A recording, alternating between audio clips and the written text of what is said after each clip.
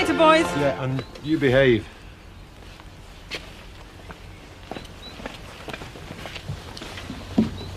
I'm worried about Andy hitting Alice. He's never been aggressive before. Well, maybe it's taking him longer to settle than we thought. I just wish I understood him. Well, as long as we treat him like one of the family, he'll come good. See you later. All right.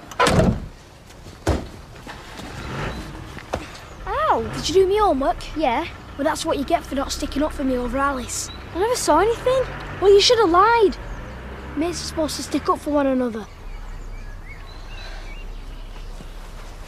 Of course. A good day at school, Andy. I didn't get into trouble if that's what you mean. When we move into our new house, Jack and I thought you might like to choose the wallpaper for yours and Robert's room. Okay. What about me? How come he always gets treated special? Well, you've always done it in the past, Robert. Let Andy have a turn. Can I have some Buzz Lightyear wallpaper?